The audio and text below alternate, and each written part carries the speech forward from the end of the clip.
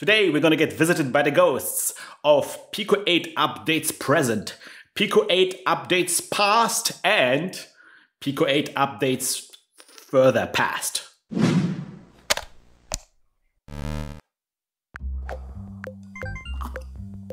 Mm, hi everybody, I am Christian. This is Lazy Devs Academy. Welcome, welcome, welcome. Today we are going to be looking at a new Pico 8 version. Yes, I do those reviews where I do those videos. I look at the versions of Pico 8 and walk you through new features, new updates that excite me that I think you should know about. Um, I have skipped a bunch of updates in between, so this is going to be our big catch up video where we go through all of the versions that we skipped and didn't talk about because of reasons, but now those reasons are gone and we are embarking on a new bright future. By the way, one of the reasons was that I, I got surgery. Do you want to see a cool scar? Haha. Everything went right. Everything was okay. Right, so um, the last time I made a video, that was the version 0.2.4. Now we are at currently at the version 0.2.5 E. But I'm gonna go actually chronologically and I wanna talk about all of the changes that happened in 0.2.4 before we went to 0.2.5. So let's jump straight in. And I'm gonna be honest, guys, a lot of the things that we're gonna talk about today are not gonna be mind blowing, you know, they're not gonna be game changers. But in the meantime, we amassed a lot of those features, so it's kind of worthwhile to just do to, to get our ducks in a row, so to speak, right? And and actually start talking about all the features, the little features that eventually add up to kind of a lot of stuff. So one thing that I, we already talked about a little bit uh, uh, during the stream is that there is a ability to kind of do a little bit of an animation preview in a graphics editor. There's some kind of functions for this right now. So let me draw this. Maybe this, this is a bit too dark. Let me, so let's say we have this animation and you can like scroll through here and that's fine and good, but you can do a little bit better now. So with the button L, you can start, um, you can set a beginning and an end of a loop. So let's just go L here, it says set loop start. L here, it said set uh, loop end. And with the button Q and W, you can go through this animation now. You can see I can I can kind of step through this animation and it loops through. It like jumps back to the beginning. So now we kind of see kind of like this dripping thing. It's kind of weird that we had, um, yeah, we can go in both directions as well, right? So L sets start, L sets end, and then with Q and W, L L, and then, yeah, because once you click somewhere, uh, then that whole thing gets reset. So you have to, after reset the end, you can like um, loop through an animation. That's cool. That's kind of nice. I always thought this was kind of already good enough. One thing that is genuinely new and kind of like exciting is that it also works with larger sprites. So um, before we had it like with this, you know, with this one single eight times eight pixel sprite. But if your sprite is bigger, for example, like this big box, which consists of four individual sprites, so it's 16 times 16, we can make this bigger now.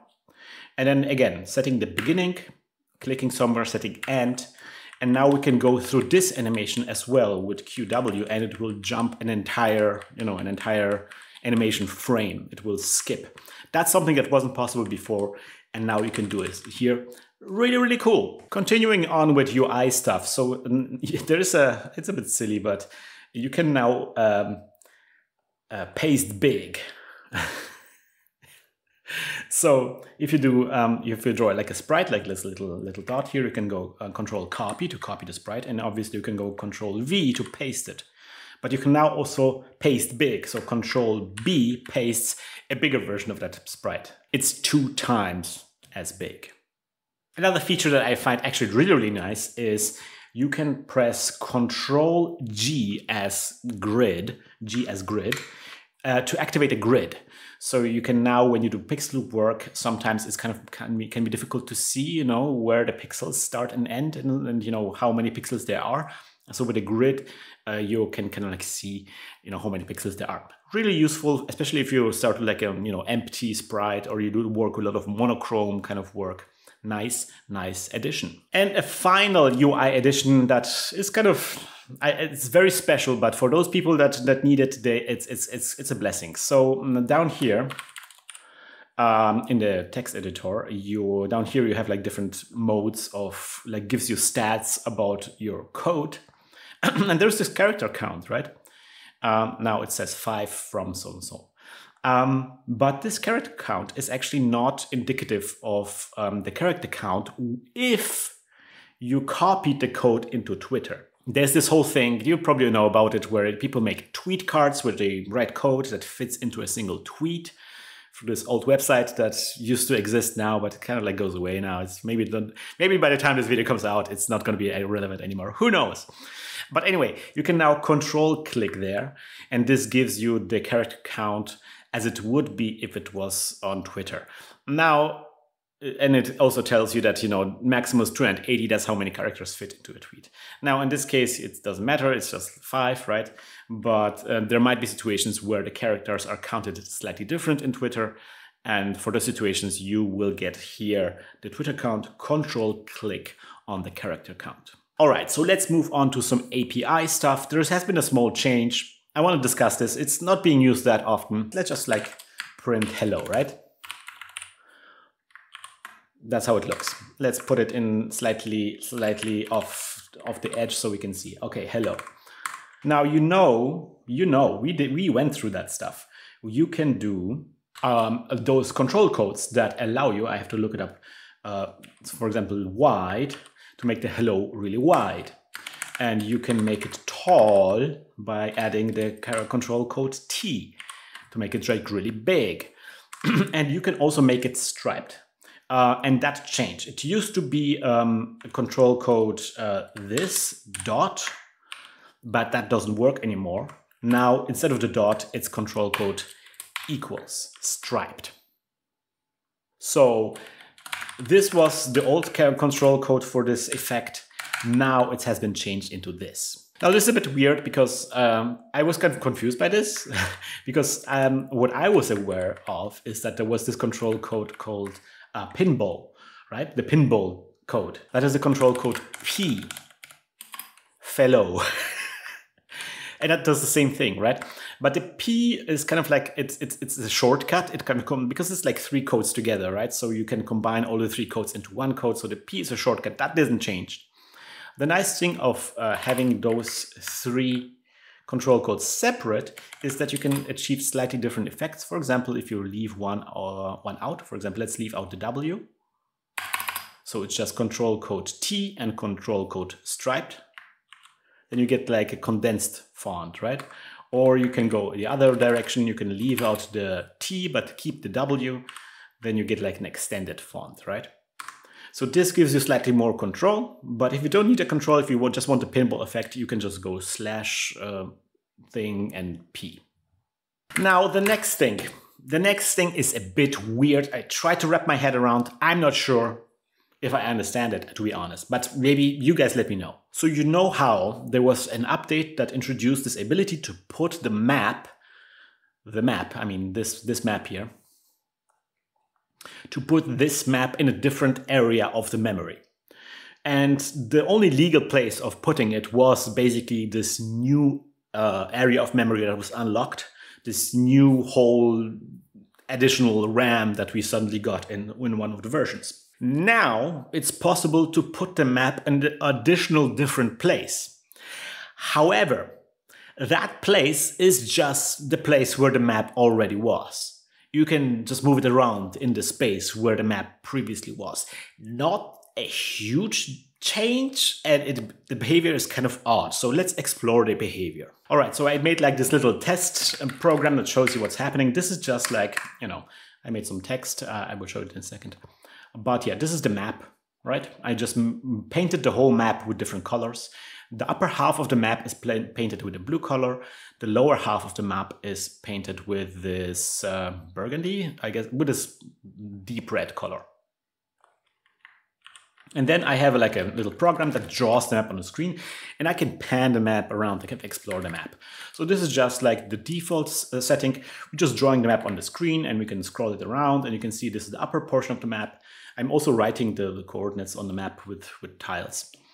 And then this is the lower portion of the map. The reason why I differentiate between the, the upper and lower half is that the lower half of the map, the red one, uh, that's actually being shared with the lower half of the sprite sheet, as you know. So if you use the whole sprite sheet, you don't get to use the red area. And if you, you want to use both areas of the map, then you can't use the lower half of the sprite sheet. That's kind of like always like this little thing in Pico 8. So far so good, but as you can see in the lower left corner, this tells you like the location at which the map currently is, like what, what we're putting into the into this uh, this address. This is the address 5F56, and you can put different things in it. I'm just putting zero in here and just like okay, whatever.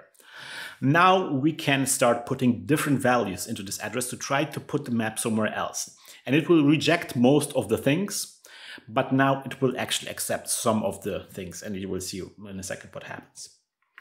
All right, so this is the map and I'm gonna start changing the, the value that we're putting in. Nothing changes and suddenly something changes. Oh, okay. So let's go back a little bit. So 0f, nothing changes, it's like the same thing. But once you put 1, 0, suddenly something weird happens. You can see our map is just the red part. And if I scroll down, you will see this is actually just the red part. It just we just made the map smaller and we made it begin in the red part. Now, as I increase the value that we're putting into this address, you will see something funky happening. You will see the map kind of scrolls up and disappears until it becomes like a tiny little strip. You see, this is just like a tiny little strip. It, you know, the, the width doesn't change, but the height, is, it shrinks down and it shrinks down from the top. So now the, the top edge of the map is just the lower edge of the actual map in the, in the memory. Weird.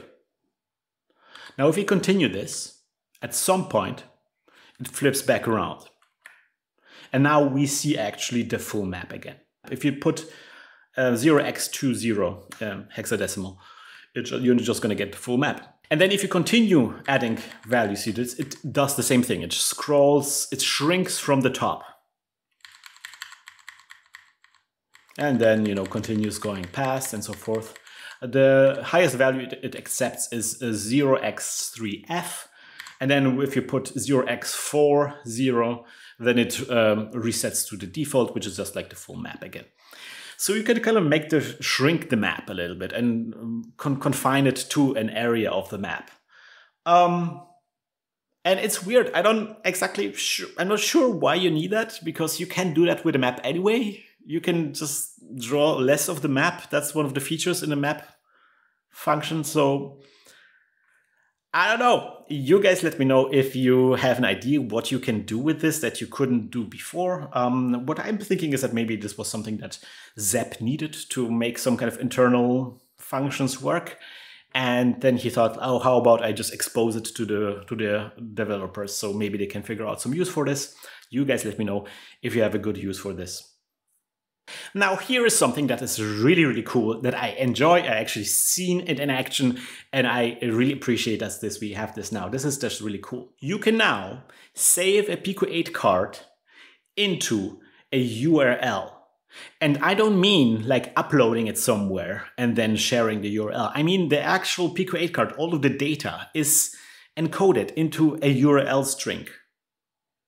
Let me show you. So let's say I want to show somebody how this new map feature works. I want to share it with somebody so they can check it out. Something I can do now is going to is type in save add your URL. Oops. Well, I didn't test it before. I thought it maybe works. Well, it doesn't work because what it tries is to encode all of the code and all of the graphics and everything into a URL. If, if too much code, uh, it won't fit and then you get that problem. Uh, okay, I made something that's a bit simpler, just like a little hello world here. Let's try that again. So um, export, no, wait, save, very important, save at URL. There we go. Now this program was copied into the clipboard. So now I open up a web browser, I paste it in here, blop, and as you can see this, this like this weird character string, right? That's our data. That's the, our hello world code and everything that is encoded into the string. We run this. It would launch the education version of Pico 8 and it will load the card immediately.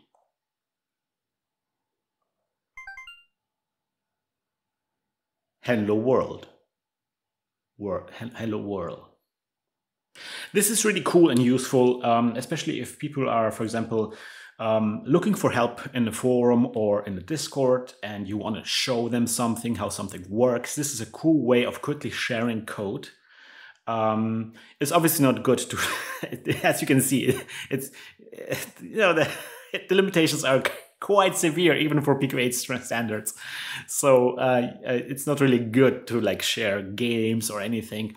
But like little code snippets, for that, it is actually pretty good. Now, while we are talking about export and saving and all that stuff, there is a new thing that is also possible now, which I also, mm, I really, really like, to export the card image of a card. So as you know, one of the major features of Pico 8 is that it can save the entire game and all the graphics and music and everything. It can save this into a PNG image. And for that, it needs, uh, it, it creates like this label, this kind of like image of a card. And that label, that illustration a card is something that you save uh, pressing F7. Uh, but it's always difficult to edit this yourself. You had to go jump through a bunch of hoops to put your own image in there because it can be a screenshot from the game, but there was a way of getting in your own images. For example, here, Pork-like, um, that illustration from Pork-like is not necessarily in the game. It uses some assets from the game, but it's it's not necessarily from the game. I created it in Photoshop and imported it uh, into Pork-like through weird shenanigans, modifying the, the card, copying stuff, and you know, complicated stuff. Now we're getting tools to uh, modify the card image directly, and I'm going to showcase how this works by actually fixing something that I don't know why this happened. Like this, at some point, something got corrupted. And this um, this image got little, like little little dots here, so I want to remove the little dots. So let me step you through the process of fixing the card image to pork-like. Right, so we have um, pork. We're gonna load this pork.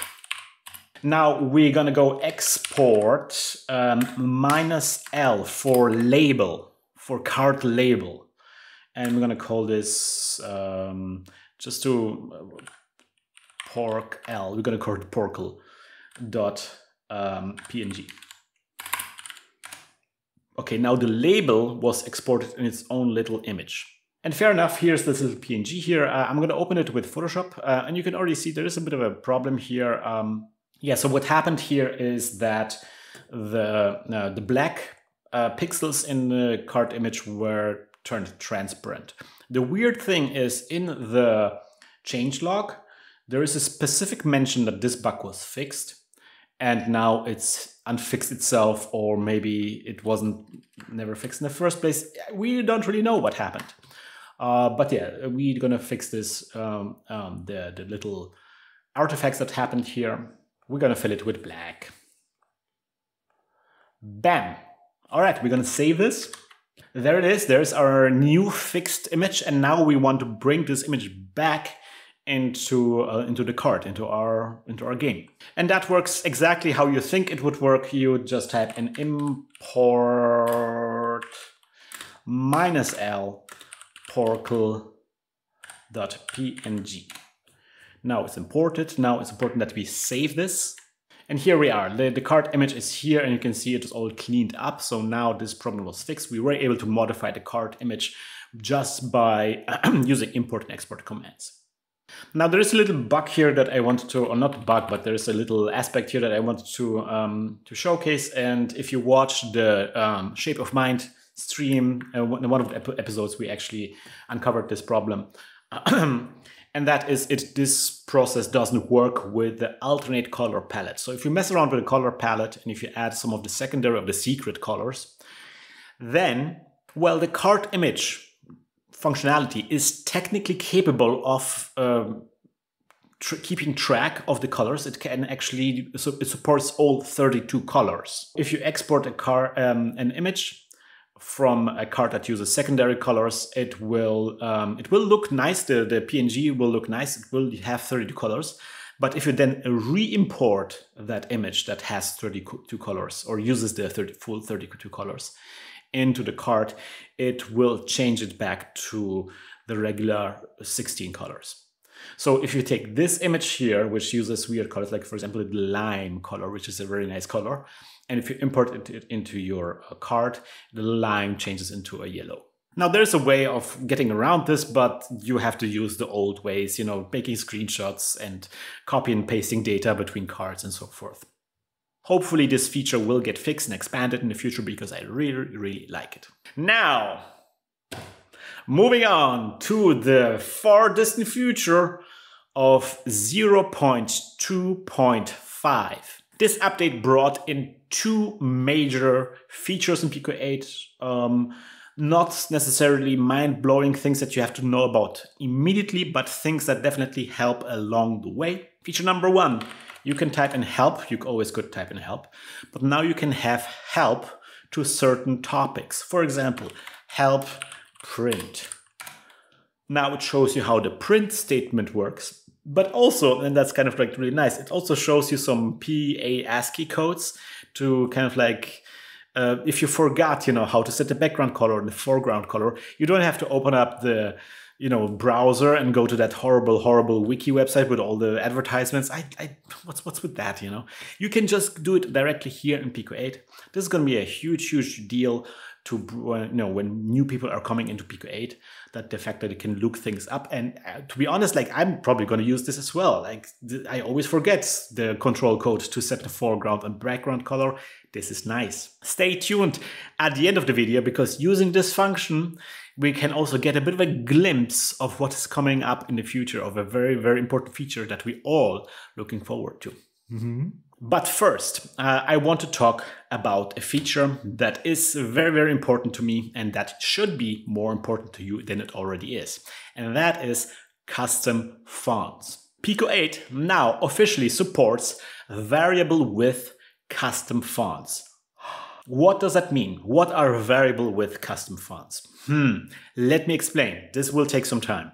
Okay, so first let's go through the process of setting up a custom font you go load hashtag uh, font underscore snippet.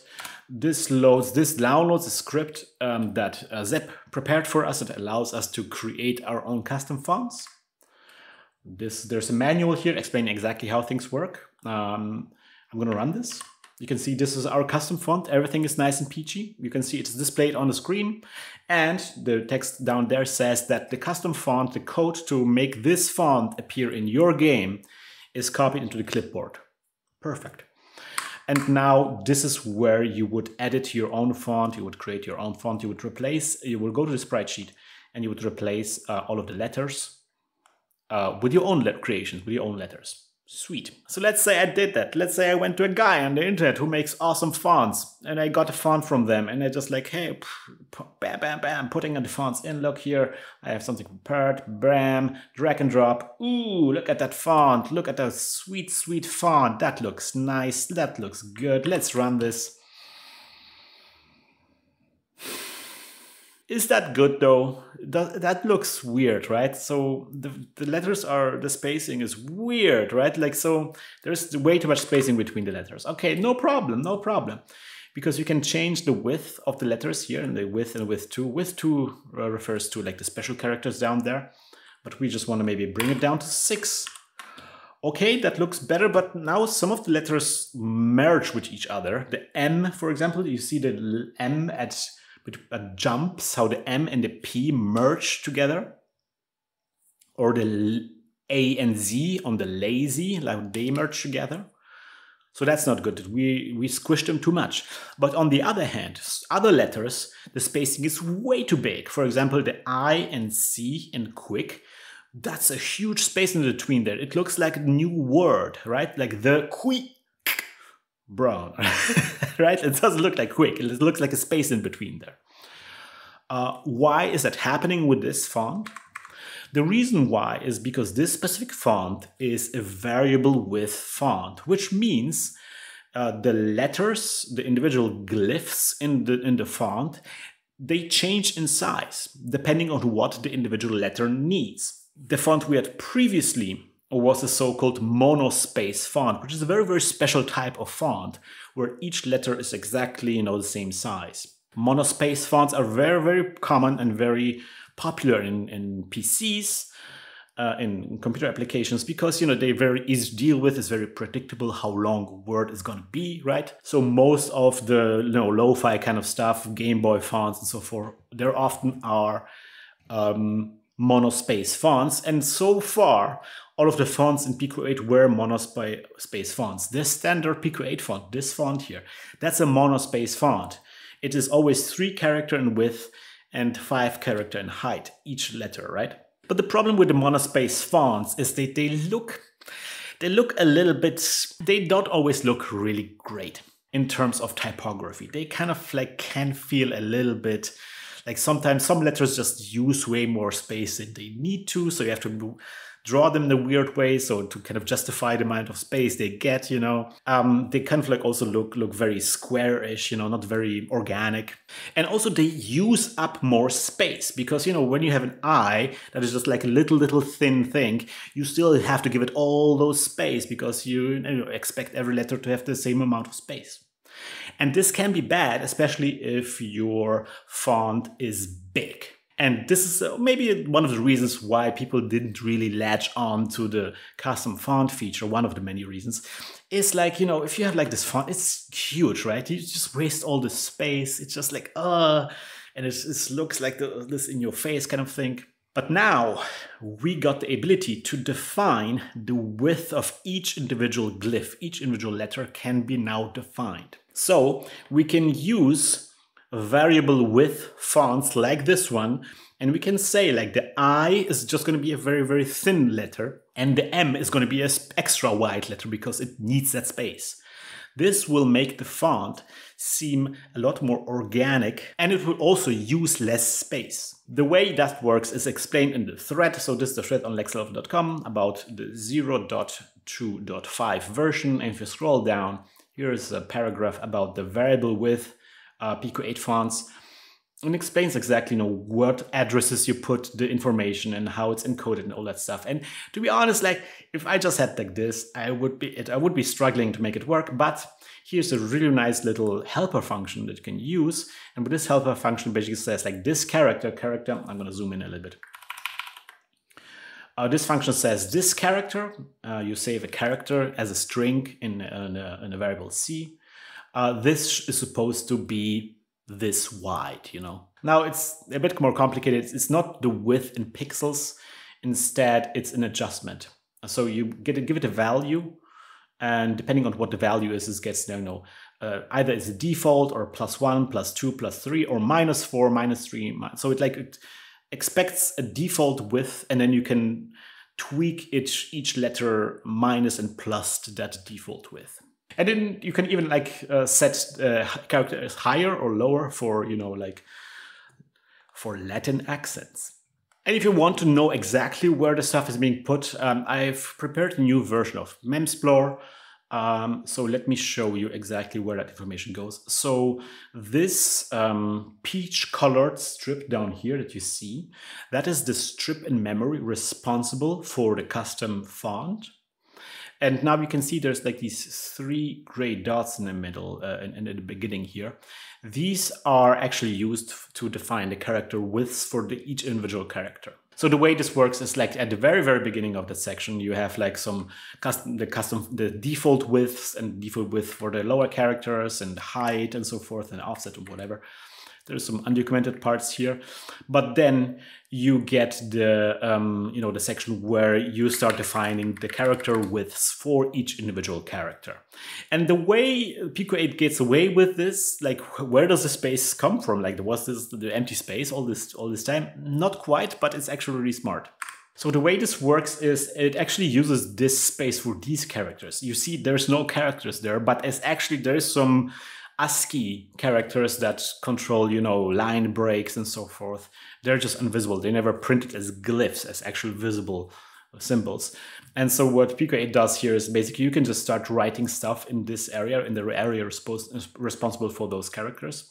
And that stuff gets interpreted as character widths. Now I created a little card here um, uh, that actually goes through this process and actually takes this font that I showed you that I got from a, a font designer and it applies custom character widths for each individual character. Here, I'm going to show you a little bit here.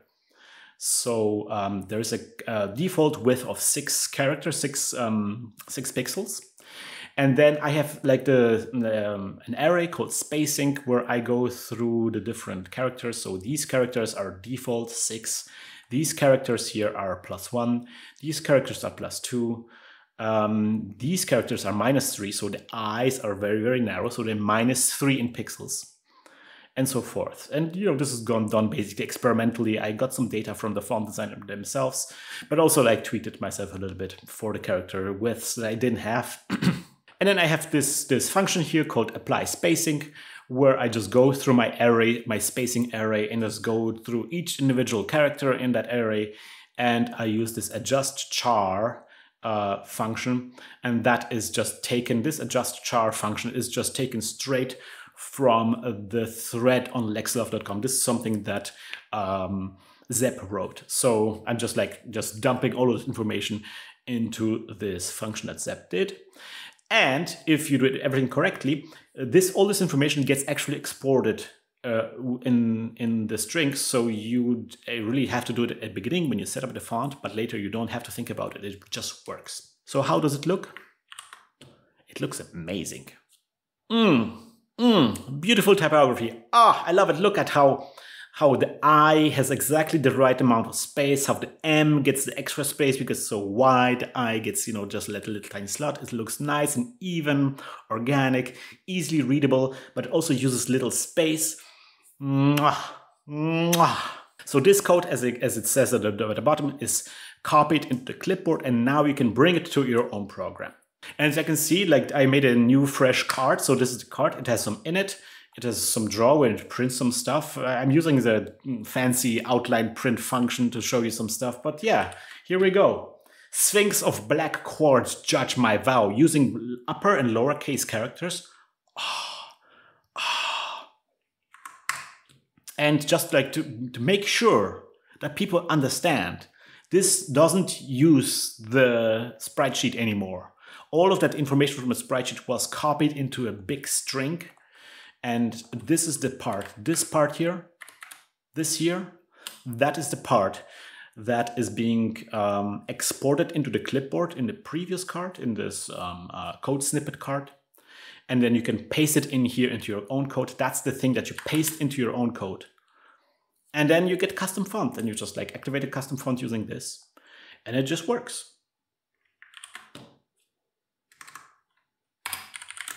Now, there is a second reason, obviously, why people are not really like flocking into the custom font space, and that is designing fonts is really, really difficult. Like this, it's a really good way to make your game really pop and look unique because you're so used to how fonts look in Pico 8. So every time somebody uses a different font and one that is even big and, and you know looks so good as like this one, that will make your game pop for sure.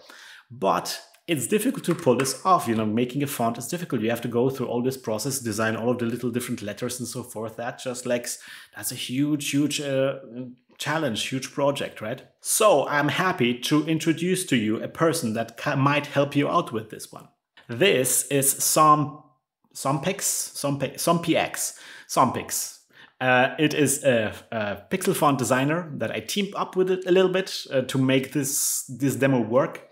And as you can see, this person makes beautiful, beautiful pixel fonts on uh, itch.io. You can download them if you want to. Um, not all of them are uh, Pico 8 compatible because some of them are a little bigger than what Pico 8 supports. Uh, the biggest uh, character a Pico 8 can draw is 8 times 8 and some of those uh, fonts use bigger characters. So not all of them will be Pico 8 compatible, but some of them are. So we worked together to um, import one of the fonts into Pico 8, and the font that we're talking about is this one called Voice. As you can see, it has been used by Pancake Delicieux. Yes, beautiful. Mm, mm. Off the bat, we are kind of like in good company here. Uh, so yeah, we took this font and we converted it and, and went through the steps and learned how to this works in Pico 8 and um, and yeah, made it work in Pico 8. So the oldest code that I showed you, you know, that the modifications I did to the font snippet stuff, the pixel font that I showed you that I ended up implementing with the, the character widths and everything. All of this stuff is now for you downloadable. You can just click here, download voice.p8. That's right, that's a 8 version of this font available from itch.io. It's free, you don't have to buy this font, but if you end up using it, why not support the creator? At least, at least let him know that you used his font. I think he will be pretty, pretty stoked. So download this font, use it in your game. I think it will be really, really cool improvement to any kind of Pico 8 game.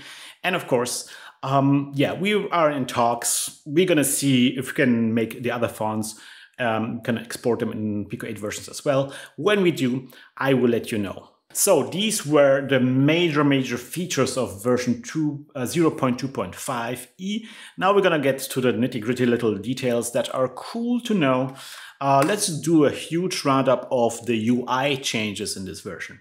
So when you are in the map layer now, oops, this may be a bit too much. So we are in the map and the way the selection works in the map is now slightly different and pretty cool. So let's see, let's say I select something here, right? I can now use the keys to move it around. But as you can see, it doesn't like, like it's, it's a floater now. It floats above the map. So as I move it around, it doesn't delete stuff underneath and so forth. I can, it's now, it's kind of like its own layer on top of the map. And I can actually start drawing around in this layer and it will not draw on stuff underneath, right? So this is kind of like its own little drawing area now that is removed from the rest of the map. And it, it, it get only get placed when I remove the selection, right? Now it's merged with the background. It seems like obvious and natural because that's how you used to this maybe work in Photoshop or something like this. But, um, but yeah, that wasn't the way it worked before. There's a little, again, this little thing got a little updated here when you go to the compressed capacity when you uh, control click here, you actually get a live update of the compressed bytes. So as your program gets bigger and you start you know, bumping against limitations, you can get some live updates when you're starting to shave off the individual letters to see if you can fit your program within the limitations. Nice. Uh, one little thing is in the in this editor, in the graphics editor, Control H activates hex mode. So we had that here in the map editor, Control H hex mode, where you had would have like the hex value of the different uh, tiles represented in, in the uh, in the on the map was really useful for situations where um, two tiles were identical and you wanted to distinguish them without having to change them. Um, well, now you can do this also in, in, in this mode. So now it shows you like you know, this tile, that's tile number 038 and number 38, in hexadecimal is 26. Now here's a little little detail that I loaded a Porklike for this because I really want to show you uh, a lot of code. Uh, control, if you keep control pressed and use the scroll wheel, you can scroll sideways. And a final little addition, which is really, really cute. If you turn off the sound, now I turn off the sound, if you then reboot, it doesn't play the sound, but it shows you sound notes.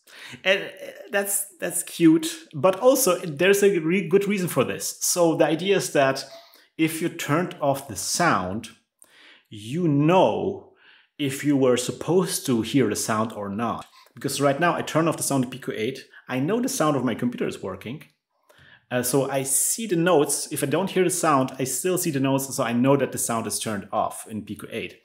If I didn't see the notes and I didn't hear anything, that I know that something with my setup is wrong. Just little indicator here, helps with some debugging stuff. And that is all of the UI changes. Now let us go into like code API kind of changes. Some of the stuff is really, really nice. Actually, I used some of the stuff in the variable width code that I've showed you just briefly. Um, so there is a different way of, of sampling individual characters from a string. So if you have a char uh, you have a string, something like you know, never gonna give you up. I gotta use it. I got. I just. I just can't not use it, right? Um, then you can go print. And previously, if you wanted to have, for example, the v from never, right, you would have to use the sub function and it's like oh it's just such a pain. It's just like txt and then it's like the beginning and the end and then close, close, then you can run it and then you get the V, right? Well, now you can, it's a little bit easier now, you can use the string as if it was an array with each array being each individual, uh, each array entry being each individual letter. So if you want the third letter from the string, we're just gonna go txt square brackets three. There we go, there's the V. And then if you want the E after the V, it's gonna be four. And if you're gonna go with the R from never, it's gonna be five, and so forth. Now, there are some limitations to this. For example, um, you cannot do something like uh, txt square brackets 5. You cannot assign. That's That doesn't work, sadly. But uh, just being able to read individual characters from a string is very, very useful. I find myself quite often in situations where I want to read out a string character-wise. So something you can, for example, do now is something to do like for um, t uh, in all txt, you can do a for in all loop here and then print uh, t and run. there we go. so yeah, so some things work, some things don't work. Uh, you have to figure this out. Oh, by the way, another thing that doesn't work is you cannot get a random character from a string. That doesn't work. If you do like something like hello, um, um, um, you won't get a random letter from hello. That doesn't sadly doesn't work. It you just get zero. There we go. At this end, at the end, there's a zero. It's it's it would cause a lot of confusion because the, what happens is this hello gets converted into a number, and then you get a random from it. So in case you have 45, then you get a random number between 0 and 45 and not either the 4 or the 5. Now, um, sub has changed a little bit as a result of this. So um, let's go print sub um, uh, test text uh, and then uh, 3 and then nil if you do this, it returns xt, the rest of the string. Previously, it would return just a single character. Um, uh, but now we have this different way of accessing individual characters, so this was reverted. Just let you know, this is how sub works now. Okay, while we're talking about printing, there's another thing that is actually kind of nice. We have word wrap now, so um, or character wrap. Let me show you. So if you poke into the address, let me, I wrote, wrote it down, 0x 5F is actually a pretty famous address. We're going to look at it in a second in Memsplore. 5F36. And if we poke uh, 0x80, so hexadecimal 80 in, in there, then if we have a long, like if, we print something, let's just print something for now. Uh, okay, nothing. But now let's write uh, some longer text. Me the world me word wrap. So if it's too long, it just wraps around and starts a new line. How cool is that? Now, it's not exactly word wrap, it's um, it's character wrap, so it will interrupt the word. It just so happens to be like this text just so happens to have a space there. So if you replace it by Super Mario World in just like one big word, it will separate Super Mario World without consideration for, you know, any kind of grammatical rules, right? But it still might be useful in some ways. Uh, let's look at the uh, real quick at the address that we're talking about. So this is 5F36, and it is an address that it says miscellaneous chipset features. I I used to write something else in there, but I just realized it got like this one address controls a lot of different things. So like the first two bits are about this undocumented multi-screen feature. It's it's wild. Just look it up. Multi-screen Pico 8 is crazy. Um, then the uh, the third one, disabling disability of when you print uh, after a print statement, a new line gets added. Uh, if you set it to one, uh, after a print statement, a new line is not being added, so you can continue printing the same line. Then um, The next one is this one causes the uh, sprite number zero to be rendered as opaque instead of transparent. This is some, the next one is about something about default values for sget and mget and pget and so weird stuff. The next one is about uh, dampen filter and so forth. Uh, I'm not sure what this one is, but this last bit, that is the one that enables the word wrap. So this is kind of like this little control panel. Depending on what kind of bit you set, weird functions in Pico 8 get activated. So yeah, if you really want to experiment with this, I suggest you check out the um, Pico 8 wiki. Yes, on fandom, sadly. Uh, and you can see that the, the, here's a documentation of all of the different things that you can do with this one specific address. All right, the next one is, that's difficult to explain. I'm, I'm not, I'm just not going to be able I'm just not going to be able to showcase this in an uh, example cart simply because I am not so in tune with T-line behavior. I didn't have, I didn't get my T-line feet wet enough yet. But uh, you can see there was a tweet by uh, Frederic Souchu um, and he was making this um, this Wolfenstein kind of game using the T line statements. As you can see, if you're using T line, you sometimes got a bit wobbly, right? Like this is using SSPR, and this is now using T line. If you use this T line, suddenly you know this gets a bit of a squiggly lines here. It's not quite as precise as um, SSPR. And he tweeted this at Zep, and Zep was like, oh, okay, I, I mean, squiggliness is kind of like to be expected, but uh, Zep really wanted the T line to be more precise than SSPR. So one of the new features in 0.2.5D, that's the most recent version that just came out a couple of days ago, that and you can call T-line with just single value. And that single value would set a different precision for the T-line statement. I'm just going to mention this real quick again. Like if you're not using T-line, if your T-line is less like way above your head, then just you can just skip to the next section here. But just want to mention this for people who are into T-line. This value here basically says how precise the MX, MY, MDX, and MDI um, uh, units are. So just like to reminder, like this is the usual T-line statement. Like what's with the advertisement here? What is this? I don't. Elon Musk, what?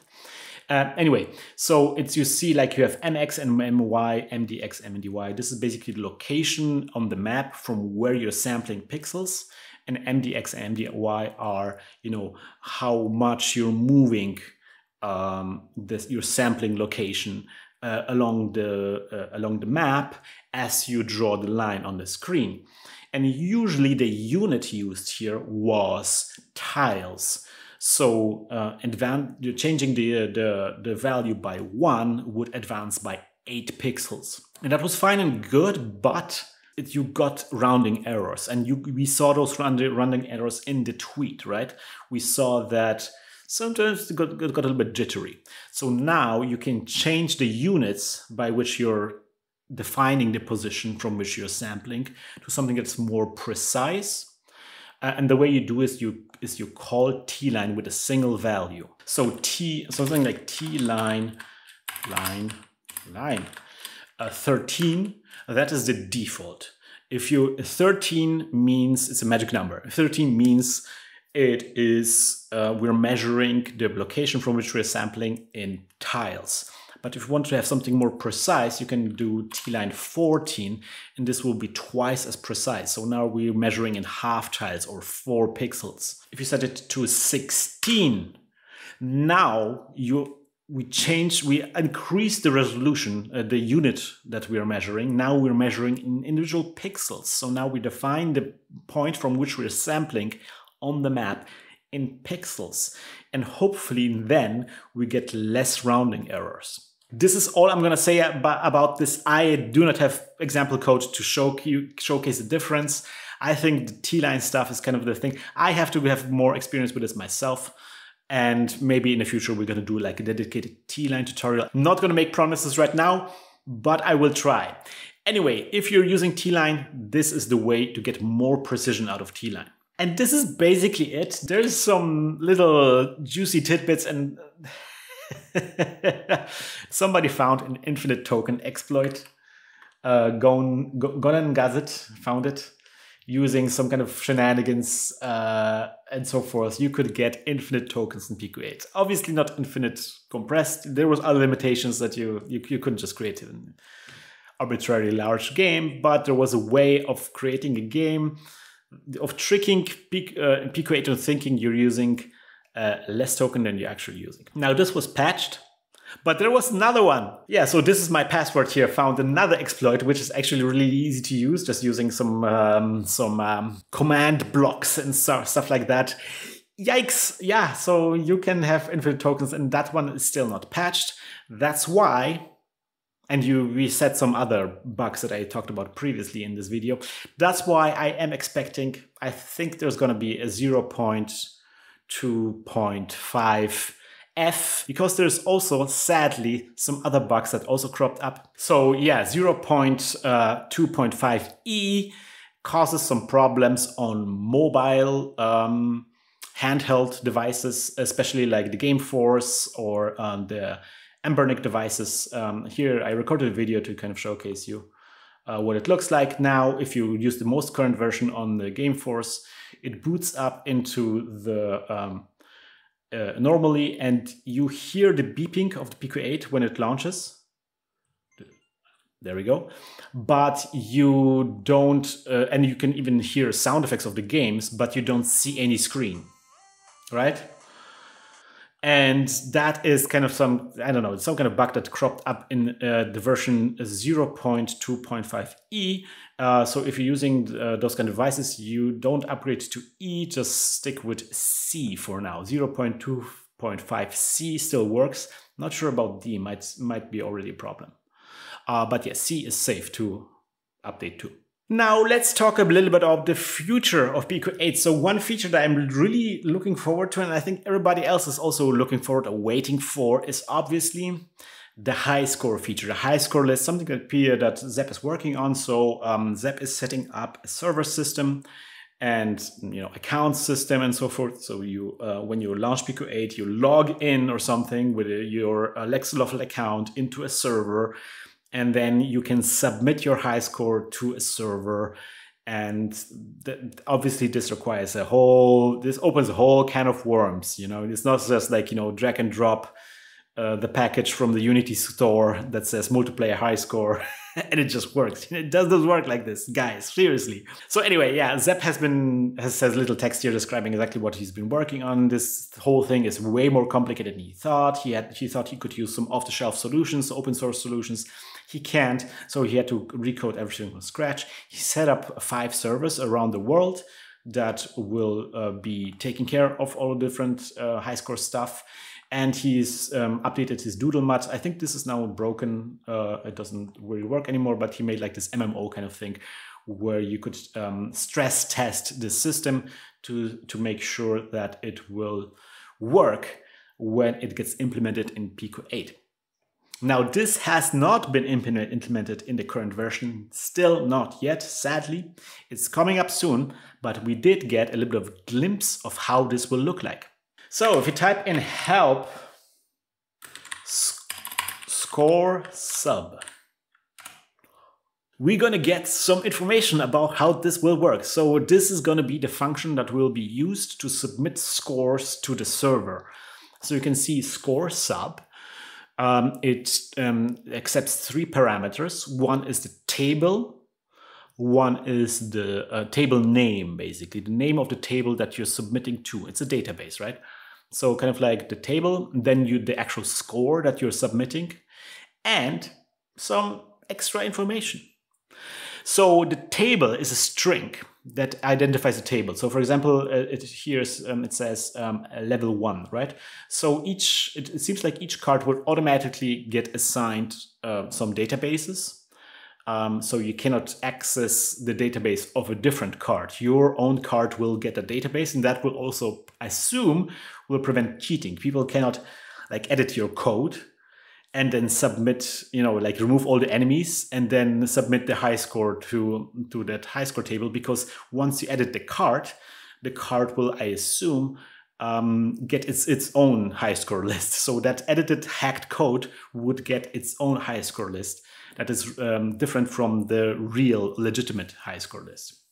Which also I think means that if you update your code, if you change your code and release a new version, that also means that all of the high scores get deleted, seems like. Mm, we're going to see how that works. Maybe there's a way of, of uh, maintaining backwards compatibility. Anyway, then you submit a score, which is a number. Higher is better, and the top 64 scores are returned in a table with fields name, score, extra, and date. You also get a date, interestingly, which, ooh, that opens up some more problems. Um, yeah, so if you do the score sub um, and then the name of the table without any score or anything, you will just get uh, the top 64 entries from the high score list. And there is this little bit that is optional, you don't have to submit it, but the third parameter that you submit to a high score list is extra, and that is spicy. So this says extra is a binary string of metadata smaller or equal 7068 bytes long. So you can submit a string that is pretty long. Six, 768 bytes is a lot of string. You can upload a lot. Like potentially this, you could even upload like a replay of your of your game. This is, I mean, maybe not, but also like maybe yes. Like it's you can do a lot with 768, so that's good. And Zep already talked about how you can maybe use this to do some kind of cloud storage solution. So, you know, people, you don't save, save your game on the local uh, save data, which is quite limited compared to this. Um, but you can upload it to the cloud somehow. Maybe there's a high score table and then you write your data in high score table. But I'm not sure how that should supposed to work because it's like only 60 top 64 are being saved. So like if too many people are playing your game, your data get deleted. Like, uh, I'm not sure how that works. You guys take a look at this and at the comments or that Zep did in that thread and try to figure this out because this is interesting, interesting, interesting. So this is it today. We caught up fully with all of the updates in Pico 8.